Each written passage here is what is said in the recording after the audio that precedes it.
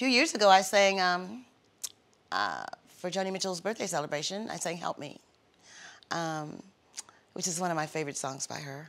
I'm sure by by many of you too. She's she's just a great, great writer, great singer. She's my great friend too.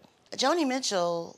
Um, I could honestly say that she's sort of her music saved my life. Her road album, Hejira.